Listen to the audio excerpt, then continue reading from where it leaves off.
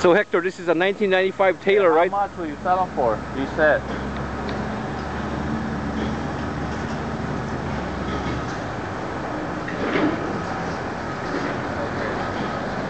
He said he already has them.